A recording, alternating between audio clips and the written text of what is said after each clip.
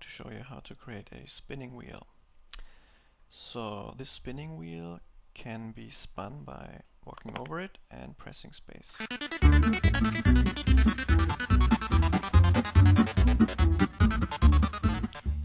And if I hit this green dot, then I will win a little prize.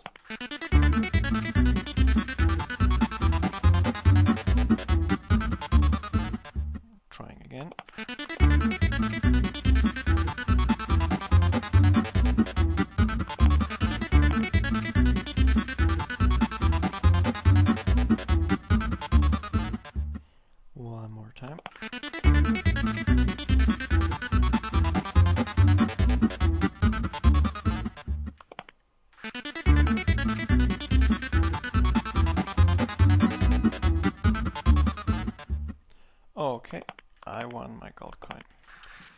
As you can see, the chance to win is not as high as uh, the chance to lose.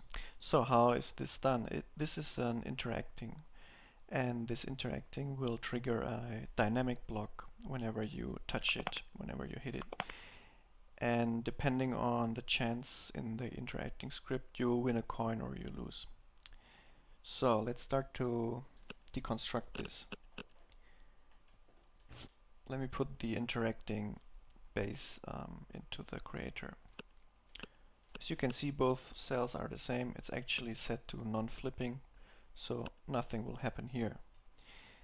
Let's take a look at the script. So it says touches, which means hitting space when over it, and the chance is 50. Then you do the spinning wheel win dynamic or motion, either way. And you also play a little um, glitchy rainbow run sound.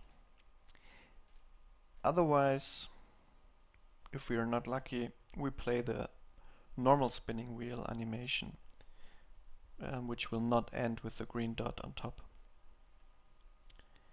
So this looks pretty simple. A lot of the a lot of the details are in the actual dynamics that we linked here.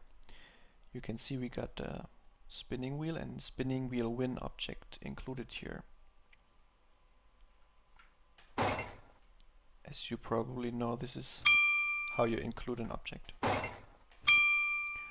So let me close this again and open the dynamic object. So this dynamic block is made up of three parts. One is the wheel and one is the stand and one I don't know what this is called the little the little red um, thing on top. Uh, my English lacks vocabulary here. Um, this is the script for the dynamic and this means at second zero, right at the start, show all the cells because we need all three cells to compose the full spinning wheel. But then we switch around the z index a bit. For example, we want we want this to show behind this. And then we're setting the pivot for cell 3 because if we rotate this normally it would sort of rotate along this pivot. Uh, we actually want the pivot to be here so that it will sort of let me draw this that it will sort of rotate from here to here control Z control Z and then from from second 0 to 4 we rotate it by 880 degrees, which means more than twice around the clock, which happens to end up right with this green at the top. And these commands here are to rotate this red line that we saw before. So it just always flips a bit to the right and then flips back. At the end, at second 8 we are rotating the wheel back to its base position so that it will not look confusing because it will switch back to the interacting graphic afterwards. And after 10 seconds we are restarting. The restart is actually the end of the dynamic because then the interacting will take over again. So we won't save this. Let me try to find the non-winning spinning wheel.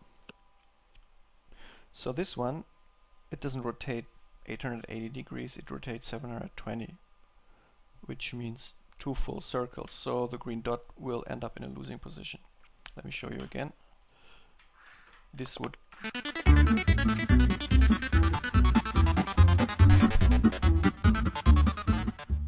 So this was 720 degrees. Go around once, go around twice, and we lose.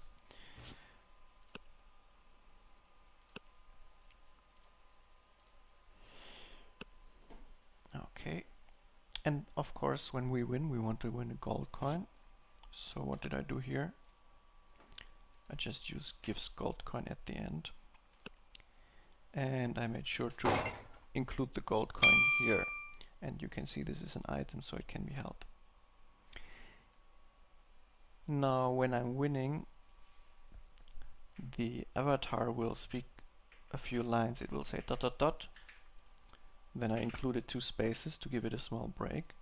And then it will say, I feel lucky. And these curly brackets around it mean don't let the interacting itself speak, but let the one who is interacting speak it by themselves. Mm, there's a little success ding at the end. Let me try to find this success 3.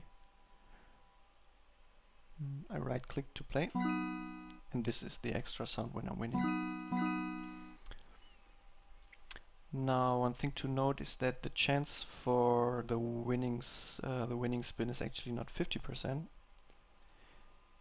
because as you probably know interactings will choose any random line for conversations or any other code. So in this case the chance would be the overall chance would be 25% for this line uh, not only to be picked but also to be available because if the chance 50 function uh, will result in false then it will not be able to pick at all then it will not be able to pick this line at all so it's roughly 25% I think. So I hope you enjoyed this little this little video tutorial for the spinning wheel and I'll make the wheel available as clonable and I will make the dynamic available as clonable so maybe you can have a try yourself to modify it or maybe you have other ideas how to spice it up a little. Oh, okay, thank you and see you in the next video. Bye bye.